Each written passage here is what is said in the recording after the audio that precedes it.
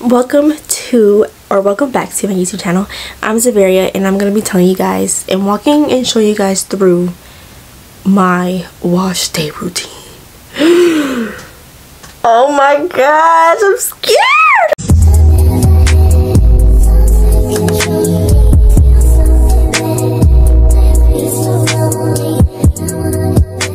I have a porosity and it's wash day. I have definitely been pushing this back but I had a shoot this weekend so my hair is filled with product, gel, and mousse and just built up.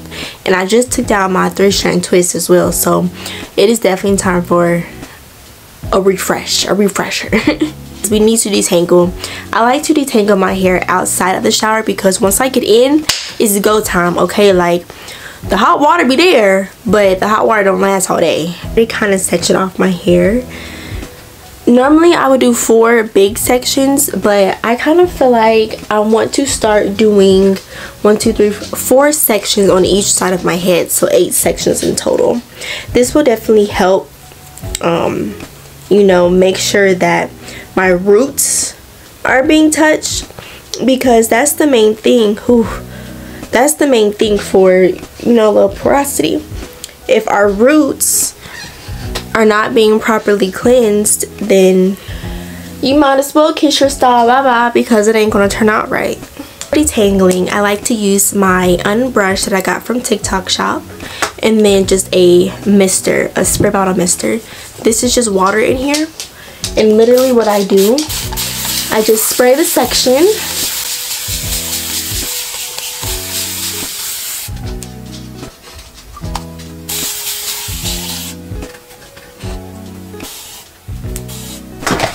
and starting from um, end to root you just brush. I love this brush because it really detangles my hair. Like do you see how this brush is just gliding through? I'm not really having to go back over the same section. That is done. I just braid up or actually twist the section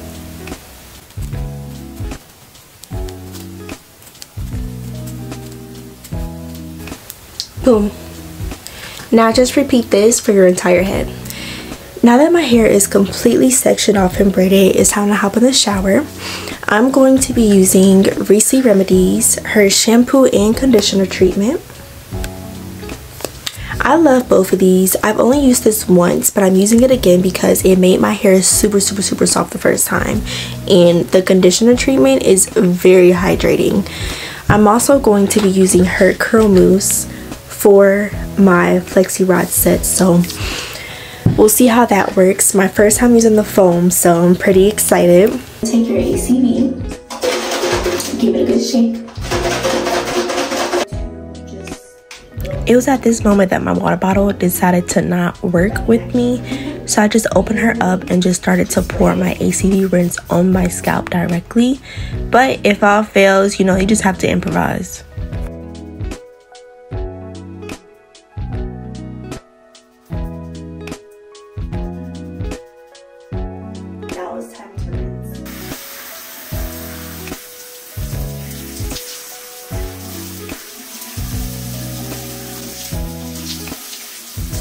I felt that my hair wasn't setting up properly and that's because my scalp wasn't thoroughly cleansed. So after I rinsed out this first round of shampoo, I did go back in and shampoo again just to really get a deep cleanse.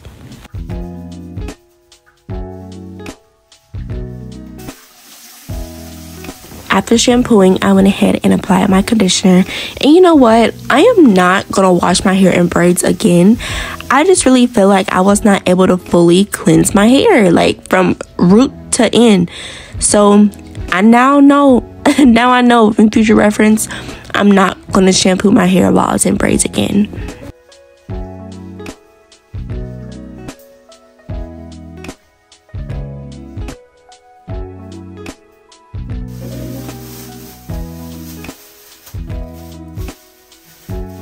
To deep condition. As you seen, I already put in my deep conditioner, or yeah, I already put in my deep conditioner. To use my heating cap, I've had this for a couple years now. I got it off of Amazon. It'll be linked in my description box. But put this in the microwave for about, I put mine in there for like two, three minutes. And I keep it on honestly until it just is not warm anymore. But that should be about 30 minutes. So you put your heating cap on and deep condition for 30 minutes and then we'll be back.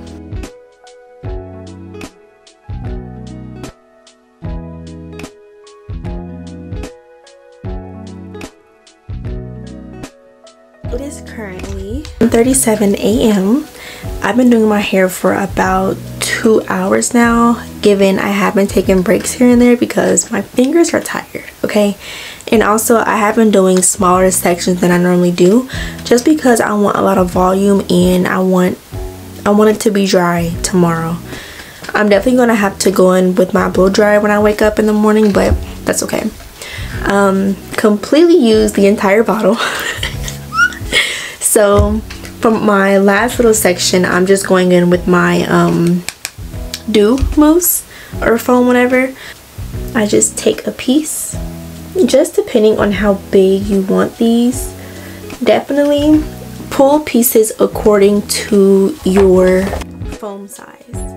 So I have three different sizes that I've been using but just depending on how big your piece is is how um, you pick your size so if I have like a super super super big piece I would not use this one because the hair is gonna um, be wrapped around too much and it won't it'll take forever to dry. And then also um, it'll just be too much hair on this little roller. So if you have a super super super big piece I would use something about wow. If you have a super super super big piece I would use a size like this Um, squirt the foam right at the roots and then go back in with my fingers and distribute it. If you need to add more definitely add more. I know this roller is in the way but just really make sure that you're getting your root. After that I just saturate the rest of the strand like so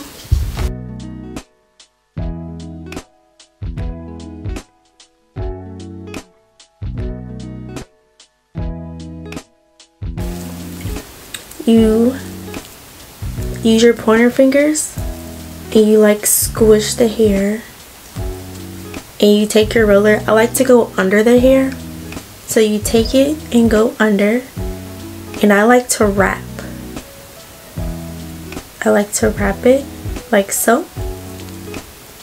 And then the end of the hair is going to be behind the roller and you just tuck it under this piece that you're going to roll over it and you twist. And as you're twisting you want the hair to go up the roller like so. And you keep doing this all the way up until the roller is at your scalp. Once you get up here if you already have rollers in it might be a little difficult but literally just twist and twist as tight as you can because you want that root to also get curly. After that, I just twist my foam roller however I want to, honestly. There's really no right or wrong. I like to fold mine in like this because when I lay down, if they're just sticking out, how am I going to lay my head down? You know? So I like to fold mine in.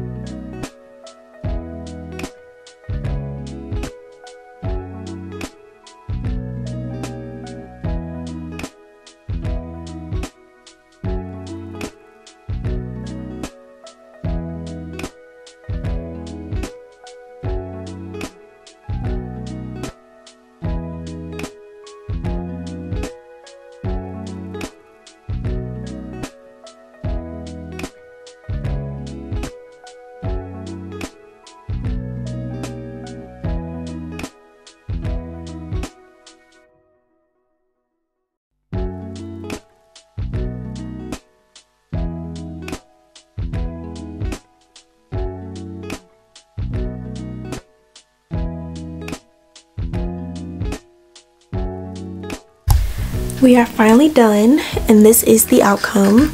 I'm going to show you guys tomorrow um, when i take it down. I like to start in the back because i know for sure the back is going to be dry. So i just take one i take both ends like so pull it and then unravel it.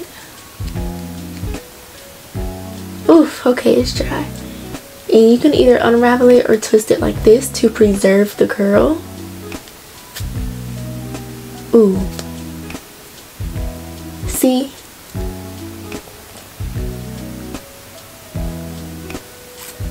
That's not dry all the way.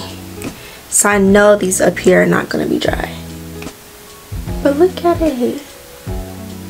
It's so bouncy